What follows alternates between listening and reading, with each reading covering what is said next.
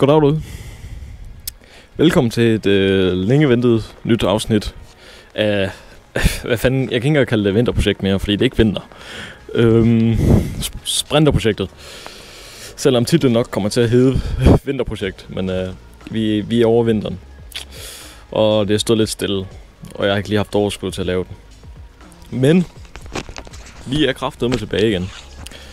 Der er sket en del siden sidst. Sådan, som i sådan rigtig, rigtig, rigtig meget. Øh, som man kan se, så har jeg fået ført en masse kølerslanger. Så alt kølersystem, det er sådan set fikset nogenlunde. Der er stadig nogle luft i slangerne, jeg lige skal have ud. Men stalkeren her, den øh, starter, den kører nogenlunde. Har lige en lidt for høj dyse. Da jeg startede med at samle den, der smækker jeg en 148 dyse i.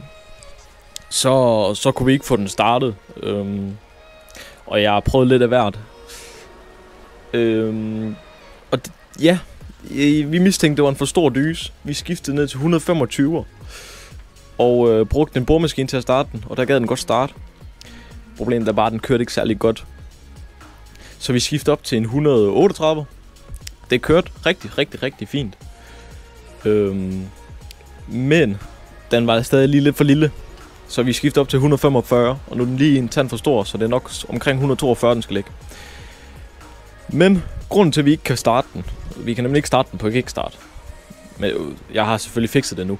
Men det er simpelthen fordi, at tomgangsdysen, der var 45 i. Så vi har haft for stor tomgangsdyse i. Så vi skifter ned til en 35. Det duede. Øhm, og ja, nu kører den sådan set rigtig fint. Der kommer selvfølgelig opsætning i beskrivelsen. Så hvis man øh, vil hente noget inspiration der for eksempel. Men øh, det her, det bliver ikke bare lige en skruevideo. Det bliver faktisk en lille video af videoer. videoer videoer, jeg har taget på min telefon af den, hvor den for eksempel har kørt ud på vejen, eller bare sådan en lille compilation. Fordi jeg har simpelthen ikke, jeg har ikke fået filmet noget skrueri. At, at sætte slanger på og lave ledningsnet, det er ikke fordi, der er super meget film over det. Det kunne jeg godt have gjort, men jeg valgte bare ikke at gøre det, fordi jeg havde, havde brug for en anden hånds hjælp, min øh, ven der. Øhm, så jeg fik simpelthen ikke filmet noget. Men øh, jeg har lavet kontakt, Top Gun kontakt her. Når man tænder den, så tænder vandpumpen dernede. Så tænder multimeteret heroppe. Vandpumpen, som man kan høre. Udover det, så er der jo sådan set ikke rigtig andet. Som sagt, jeg har lavet ledningsnet. Øh, min ven har også væltet på den. Det ser jeg nok en video af. Nu her.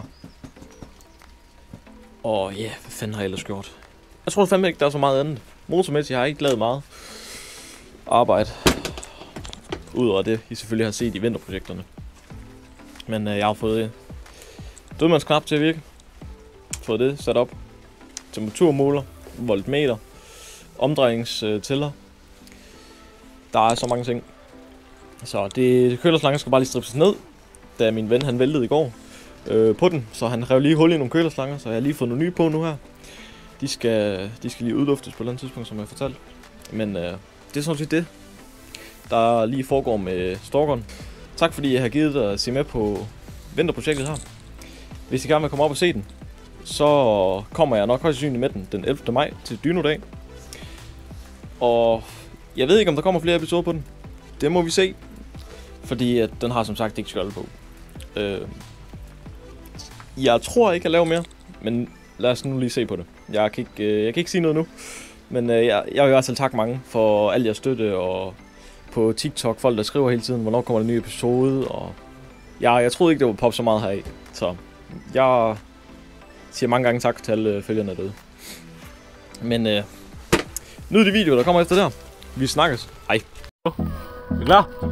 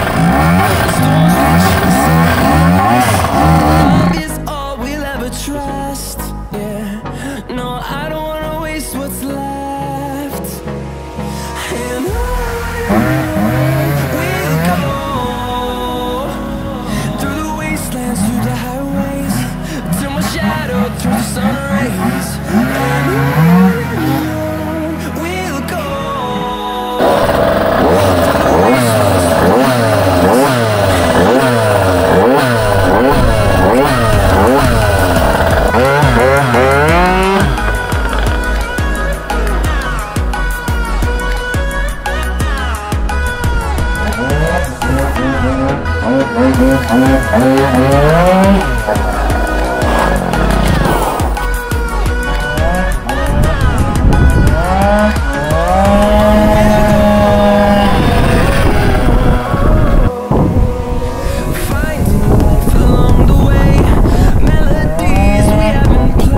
er det dog, jeg kan høre, der larmer sådan? Det er det ikke. Hvad er det, der larmer sådan?